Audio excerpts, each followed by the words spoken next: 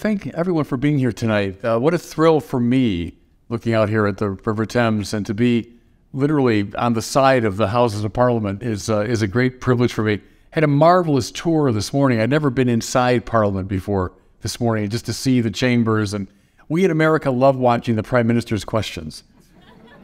And we love the lady. I heard she's now in the House of Lords, who used to be the Speaker, would say order, order when things were getting a little out of control. But we we love that. I love seeing those places. Listen, I know when people like me come to uh, places like this, uh, we often talk about church state relations or about religious liberty or maybe even the you know Christian foundations of democracy, et cetera. Those are all important themes, and I've written and spoken about them. But I thought I wanted to talk about something in a way simpler and more profound. And here's the first thing I want you to think about: the the very presence of the church, the endurance of the church for the past 2,000 years is worth thinking about the church that has existed in the context of ancient empires and medieval monarchies and modern nation states and totalitarian systems, sometimes extolled, very often persecuted, and yet is still here, I think is deeply odd, is deeply strange, and worth reflecting on. It's practically an empirical verification of Jesus' prediction that the gates of hell will not prevail against the church. So, what I want to think about and reflect on with you is what is it that has made the church, despite its failures, and of course we know of them all, and the, the great sins that have happened individually, collectively, and institutionally, uh, granting all of that, what is it, nevertheless, that has made Christianity so consistently, to the present day, a powerful cultural and social force? That's what I want to talk about. I want to begin in a perhaps a counterintuitive way with a young uh, Hindu law student who arrived here in London in 1888 to commence his studies. He was at first um, so shy and so unsure of his English that he didn't want to venture outside his room. I'm talking, of course, about uh, Mohandas Gandhi. Eventually, he overcame his, um, his shyness and he fell in with a group of very devout Christians who challenged him to read the Bible. And of course, Gandhi was insatiably curious, so he started to read the scriptures. Like a lot of first time readers of the Bible, he had a very difficult time with the Old Testament. But the New Testament electrified him, especially chapters 5, 6, and 7 of Matthew, the Sermon on the Mount. So Gandhi reads about enemy love, he reads about the power of nonviolence, and he comes back to his Christian friends, filled with excitement at what he discovered. And his Christian friends uh, smiled at him rather condescendingly and said, Well, yeah, those are nice ideals, and maybe a handful of saints live that way, but we really don't, you know, take it that seriously. See, but sometimes you need an outsider to read our text with fresh eyes. And I think Gandhi brought that freshness to it, and he realized these were not just pious ideals. In fact, these were principles that could transform lives individually and transform society. He had discovered, if I can borrow Peter Maurin's phrase, some of the dynamite of the church. Now, I'm going to interrupt myself to say I know it's a little dicey for a Catholic to be talking in Parliament about dynamite. I understand that. I understand it. But Peter Maurin, you know, the co founder of the Catholic Worker Movement, said, We've taken the dynamite of the church, dunamis, right, the power of the church. We placed it in hermetically sealed containers and have sat on the lid. It's time to blow up some of the dynamite of the church. And of course, Maurin, the great apostle of nonviolence, meant we need to unleash the power of the gospel. And I think Gandhi, in his own way, stumbled upon some of it. And then how wonderful that Gandhi becomes and his social action becomes what we call today a meme.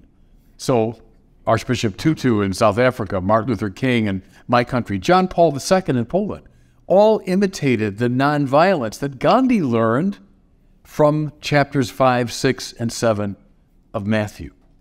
So I want to talk about this dunamis, this power. And I want to do it in terms of three um, themes. First of all, the metaphysics of creation. I think Christians have a very distinctive view of the basic nature of reality. Secondly, I want to go back to the Sermon on the Mount. Our ethic follows from our metaphysics. And then finally, I want to reflect on the paschal mystery, on the dying and the rising of Jesus which stands at the heart of all evangelization. Because mind you, tonight, everybody, I'm here not with my, you know, political commentator or cultural commentator hat on. I'm here tonight really as an evangelist, a proclaimer of the evangel, the good news, which is, by the way, the dynamite of the church. It's about the dying and the rising of Jesus. So those three things. And my, my hope is it shows what the church consistently brings to the cultural conversation. Okay? So, first, creation and the metaphysics of creation. There's a line from St. Augustine, it's in the uh, City of God. And I, I think it's the, the central argument of that great, you know, 1500 page text. Namely, we become what we worship. We become what we worship. Worship from an older English word, worthship. Every person in the world, I, I don't care if you're, you're an ardent saint or you're an atheist, everyone worships something. Paul Tillich, the Protestant theologian, said, All you need to know about a person you can learn by asking one question What do you worship? In other words, everyone has a summum bonum. Right? There's a highest good. We would not have gotten out of bed in the morning unless implicitly we had some sense of a highest good that's animating. We would not be here. Just ask the question why five or six times about why we're here tonight, you'll get to your summum bonum. There's some highest good. And you become aligned to what you worship. And this becomes the base of Augustine's great critique of Rome, doesn't it, in the city of, of God? What were the Roman gods and goddesses like? Augustine said, well, they're, they're vain, they're self absorbed, and they're contentious, and they're above all violent. Why are we surprised, therefore, he said, that Roman society takes on those very qualities? Augustine said the church proposes the worship not of those gods, but the worship of the God whose name is love. God is love. Your own uh, G.K. Chesterton told us long ago that the language of Trinity is just the theologically correct way of stating the fact that God is love. If love is something God does, or love is an attribute that God has, I wouldn't have to appeal to the Trinity. But if I say God is love, straight through, that's all He is, then in His own most nature, there must be a play of lover, beloved, and love. So the Trinity is just an elaborate way of stating that God is love. Augustine said, the Christian community is that which is ordered to the God who is love, worships the God who is love, and thereby becomes attuned to that love. That's the central argument of the city of God. That's what makes it the city of God as opposed to the earthly city. So now look at creation this. Why does God create? That's a very interesting question, hard to answer, really. Why would God create? God has no need.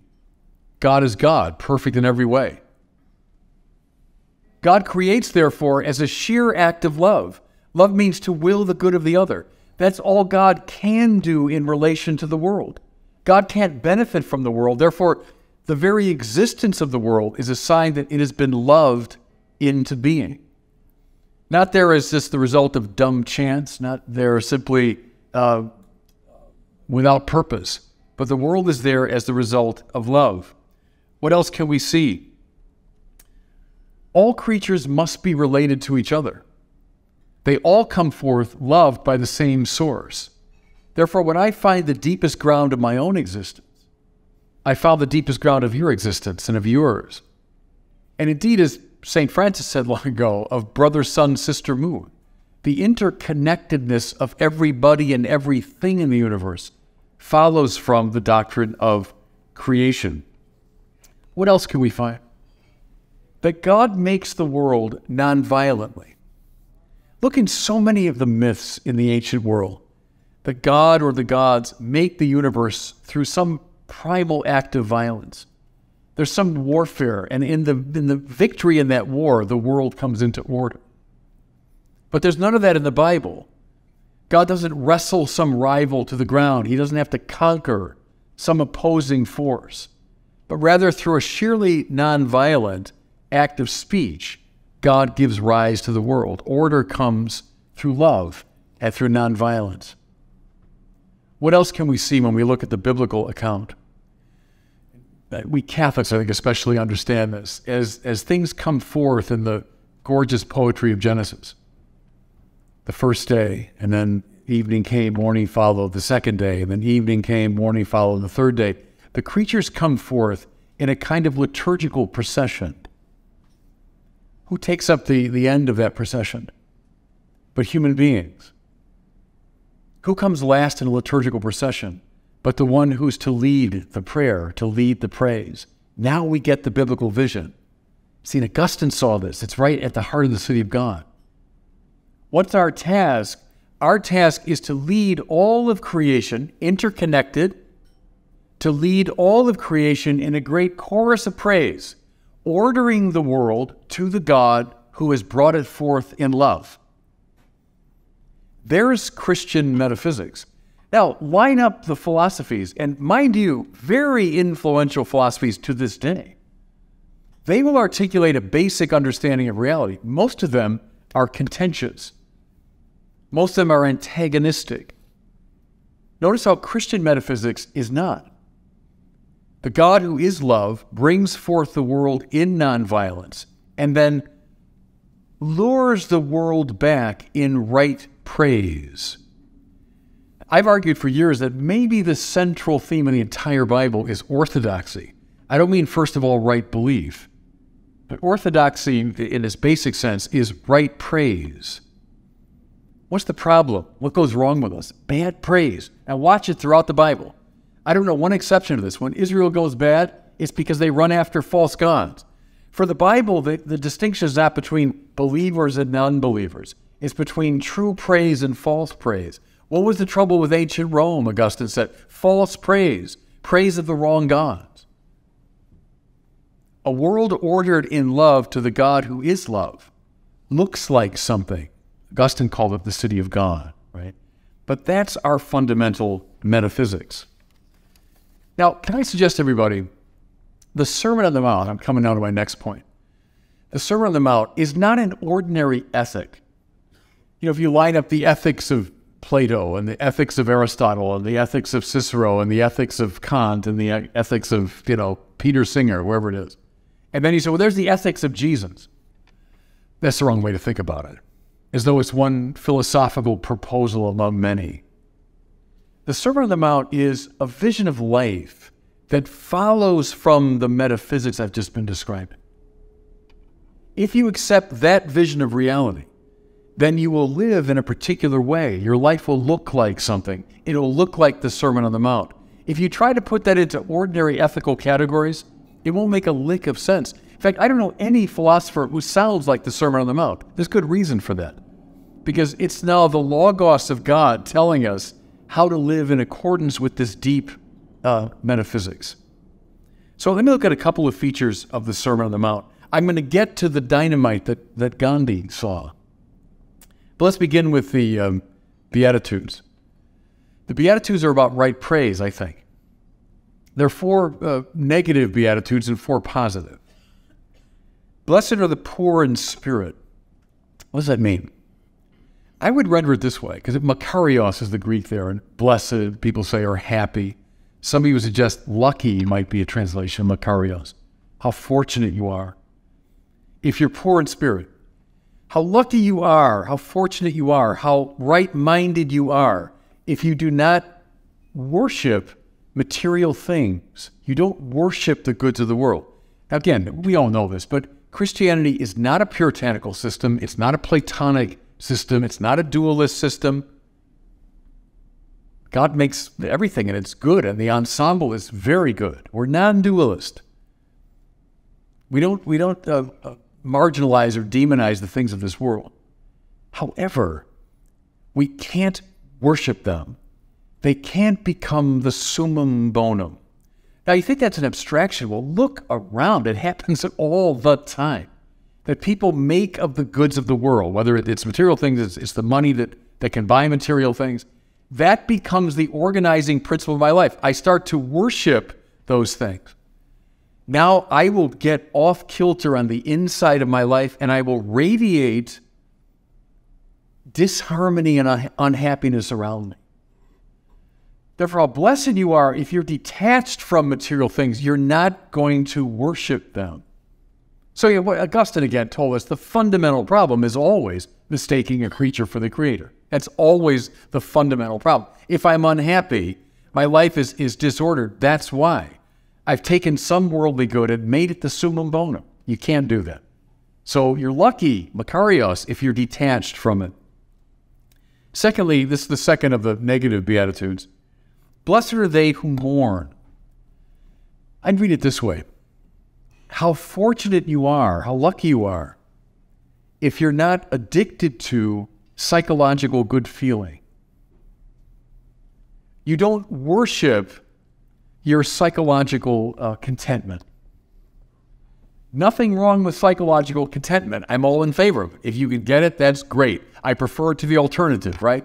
But I mustn't worship it. I cannot make it the summum bonum of my life. You know, being in the Westminster Hall earlier today and standing where one of my great heroes, Thomas More, stood on trial, if Thomas More had believed that his psychological well-being was the summum bonum, he never would have come to that point, right? And and More's a good example because you know this great humanist and a man of wit and humor and friendship. He he loved the things of this world. He loved psychological well-being, but he didn't worship it. He didn't think it was the summum bonum. How lucky you are, therefore, if you mourn. Third of the negative beatitudes. Blessed are the meek, Again, what a peculiar thing to say. I, I, mean, from Aristotle to, to the 21st century, name another philosopher who would say there is a key to, to happiness is to be meek. No, no, we, we tend to extol power. And again, power is not bad in itself. God's described as powerful, right? Political power, cultural power, nothing wrong with them in themselves. But we can't worship them. And again, you think that's an abstraction. Well, I mean, people in this room especially should know better, right? That that's one of the great temptations. Do you remember? Um, I always find in, in the uh, great Lord of the Rings stories that one of the most frightening scenes. It's not. It's not you know the orcs and all the, the battles and all that. It was a scene when when Gandalf, right, the great Gandalf, the great wise and good wizard, looks at the. There's the, as I'm wearing the ring, looks at, at the ring of power and you could tell for a moment that even the great Gandalf is beguiled by the ring. He wants it, you know? And what would have happened if he had given in to the seduction of power? If he had worshiped power? The havoc that would have caused inside him and in the world around him. How lucky you are, therefore, if you're, if you're meek. You don't worship power or make it your summum bonum. Again, look at More one of the most powerful people in his time, culturally and politically. He didn't eschew power, didn't demonize it, but he didn't worship it. If he did, he wouldn't have come to, to Westminster Hall on trial. And then finally, blessed are they who are persecuted for the sake of righteousness. You know, in some ways, friends, this might be the most seductive of them all. So there's wealth and there's pleasure and there's power. But the last one that we tend to worship in the place of God his honor. Some people can live without, you know, wealth, pleasure, and power, but by God, they want honor, to be respected, to have titles, to be thought highly of. Some people will do anything to procure honor. They'll do anything to avoid losing honor. Honor is good in itself. Aquinas calls it the flag of virtue. It's pretty good, we honor people that we think, oh, that's a person of virtue. Let me put a flag on him or her. Let me give them a title. But if you fall in love with the flag and the title in themselves, you start to worship it. And now your life gets off kilter. So don't worship these four things. Worship God alone. Now, listen to the four, I'll call them the positive Beatitudes. How blessed are those who hunger and thirst for righteousness. It's a beautiful way to put it, of course. What's the, what's the one thing you should worship? The will of God, to, to be righteous, to, to want what God wants. How happy you are if that's the summum bonum of your life, above wealth, pleasure, honor, and power, that you want what God wants. You want the righteousness of God. That's what brought More to his to the culmination of his life, wasn't it? That he loved righteousness. Relatedly, how blessed are the single hearted, or the pure of heart, some translations have it. Kierkegaard said the saint is someone whose life's about one thing. It's, it's a lovely definition, right? Doesn't mean that, that the saint lives this monotonous life. Look at More. I mean, a life like, like your own, like many in this room, a man of affairs and politics and, and diplomacy and so on. His life was anything but monotonous, but yet it was about one thing. He didn't worship anything else except the will of God. He was single hearted. How blessed are the merciful. Now, here's the Augustinian principle, isn't it? You become what you worship. If you worship the gods of Rome, you, you'll, you'll start looking like them. If you worship the God who is love, you will look like mercy. And, and how wonderful, you know, the, the King James renders hesed from the Old Testament, beautiful Hebrew term, as tender mercy. That's who God is. That's who God is. And in that tender mercy, He gave rise to the world in that tender mercy, he calls us to worship him, to lead a chorus of praise on behalf of the whole world. Therefore, when you worship God, you become yourself merciful, full of love. And then the last one, and this brings me back to Gandhi and his uh, followers. How blessed are the peacemakers. How do we make peace? By becoming peaceful in ourselves I've had the privilege in my life of knowing, I think, a, a few real saints. And, and that's the mark, isn't it? Is there's a there's a peacefulness because they're ordered. They're like the harmony of a rose window, you know, all the elements that, that center around the one place. They're grounded, they're anchored. And peaceful people tend to radiate peace outward. They're peacemakers just revisit for a second the, the text that, that Gandhi found so compelling. If someone strikes you on the right cheek, turn and give him the other. Well, I love the interpretation that, that specifies this in terms of, of the culture of Jesus' time. You would never have used your left hand in any kind of social interaction that was considered unclean.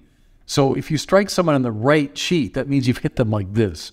You've hit them with the back of your hand. And that was a sign of contempt, the way you treat an inferior or a slave. So, what does Jesus say? He doesn't say, run away or acquiesce. What he says is, stand your ground and turn the other cheek. I think, what does that accomplish? It mirrors the injustice and violence of your aggressor back to him. It's not acquiescence or passivity. Gandhi got that, didn't he? It's not passivity.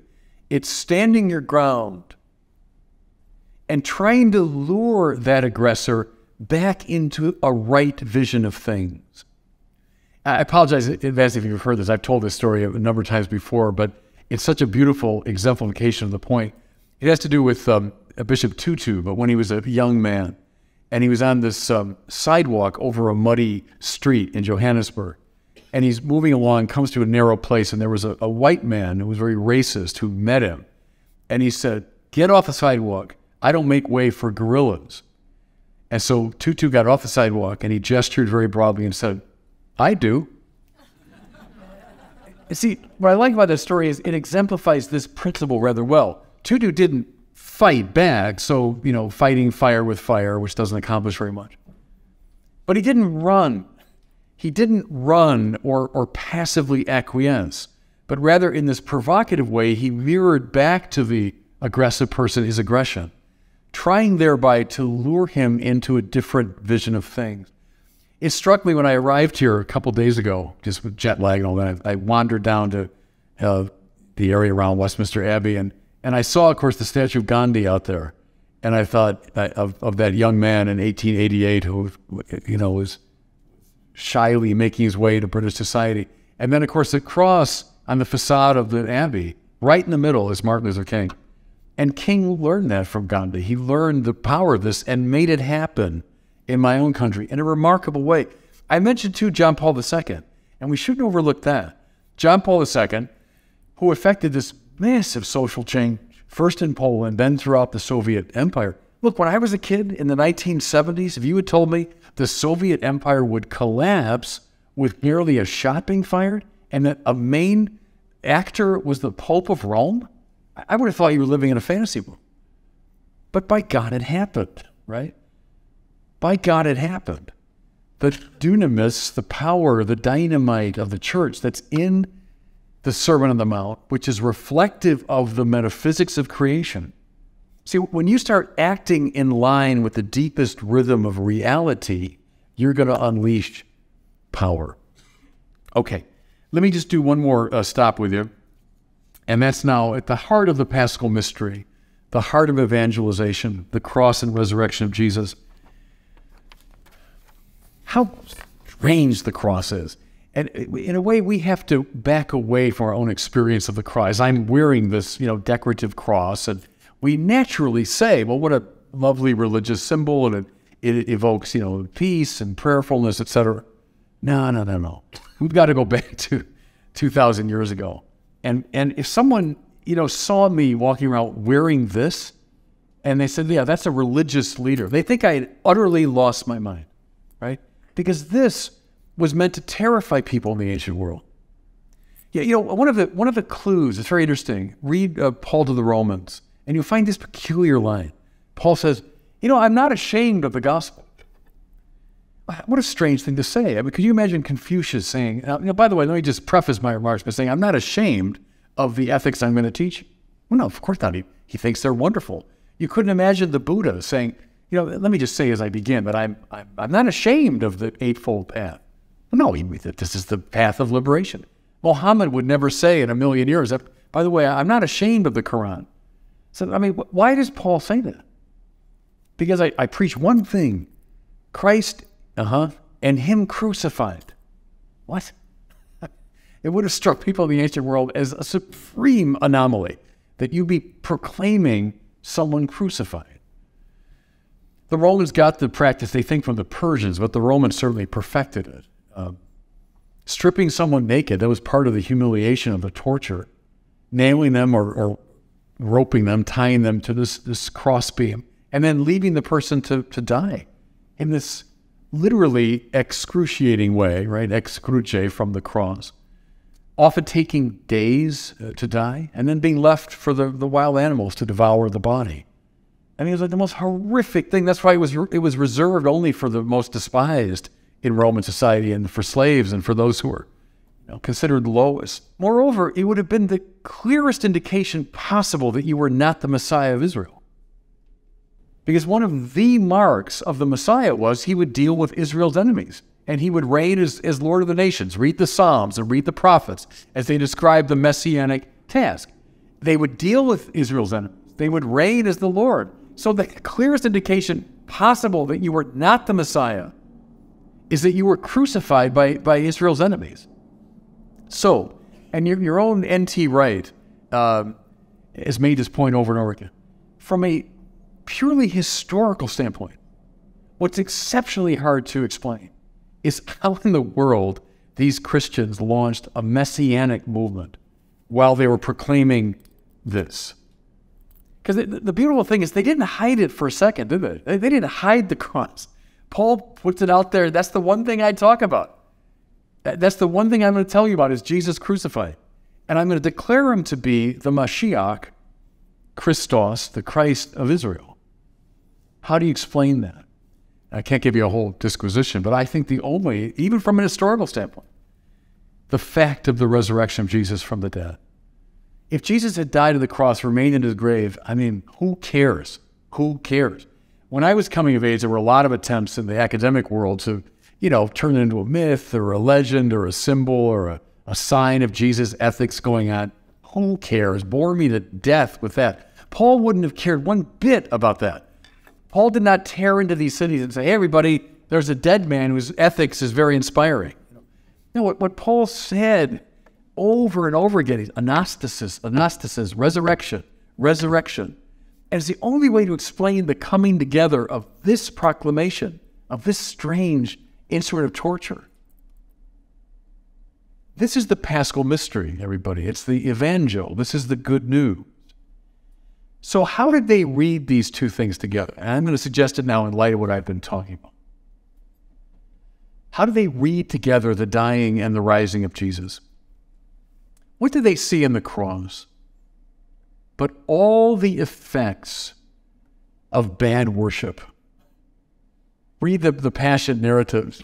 and you have cruelty and you have hatred and you have violence and you have stupidity and you have you have institutional injustice. You have every permutation and combination of human dysfunction, all of which on the biblical reading are born of bad worship. When you say Jesus took upon himself the sins of the world, that's what it means. That on the cross, we see everything that bedevils us and terrifies us, everything that goes wrong with us. But in the resurrection, they saw that God's love is more powerful than all of that. Father, forgive them, they know not what they do. That, that all of the dysfunction of the unorthodox world, I mean, the world that worships wrong, all of that is swallowed up by the divine mercy. You know, something in the uh, resurrection accounts that's so important, I think, is let's say we were telling the story in a Hollywood way today. You know, so this wonderful person, this innocent man, is done to death and betrayed, and he's denied by his own friends and put to death brutally, and then he's back from the dead. We would do it. He'd have a machine gun like Rambo or something, or you know, he'd be he'd be attacking his enemy. Or if Quentin Tarantino would make that story, he'd, he'd seek revenge, right? But the fact that in the resurrection accounts, Jesus always does two basic things: is he shows his wounds very important move. And it, the wounds of Jesus are meant to signal the dysfunction of the world. don't play the game of I'm okay and you're okay and everything's fine and we're all doing basically well. No, no. The wounds of Jesus remind us of our dysfunction. But then, having shown his wounds, he always says, Shalom, peace, peace. In martial arts, there's a move that's called the, or a, a discipline called Aikido. And Aikido is not direct punching back or fighting back, rather, it's using the momentum of your enemy against him. Right? So you definitely get out of the way, or you use the movement of your enemy to throw him to the ground.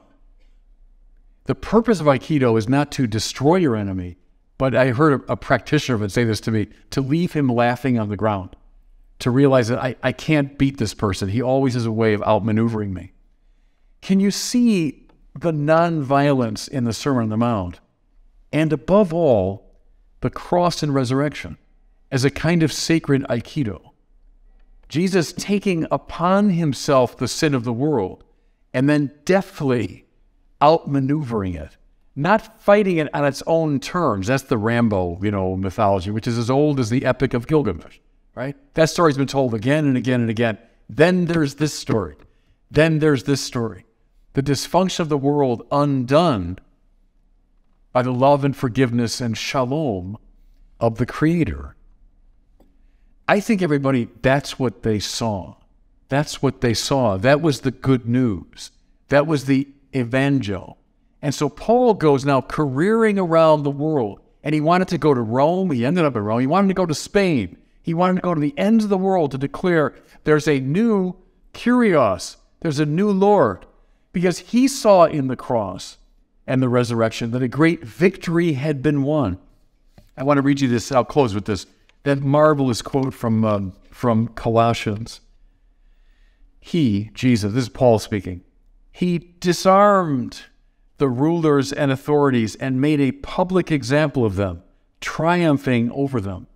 Now, what's he talking about? But the Roman practice of parading one's conquered enemies through the streets. Think of Caesar and Vercingetorix, right? Bringing him back from Gaul and then parading him to, I conquered this man. I, I make a public display of him. So Paul imagines the powers and principalities, all those powers predicated upon false worship, undone now, undone by the cross and resurrection of Jesus. That's what we brought everyone to the public conversation for the past 2,000 years. I'll close with, with this image. I, am staying in this the hotel right across the river there, and my room is a spectacular view of this whole complex, right? So I've been contemplating it quite a bit the last couple of days. And you notice the beautiful, you know, Pugin neo-Gothic architecture silhouetted against the sky. But then you see hovering over the whole thing is the Union Jack, which, if I'm right, is three crosses, right? One on top of the other.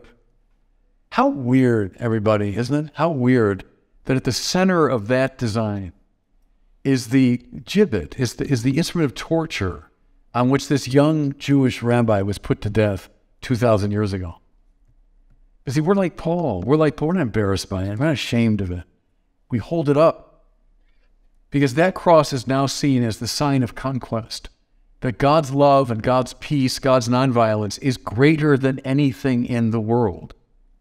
That's what we continue to bring to the public conversation. That, I think, is the dynamite of the church. God bless you all. Thanks.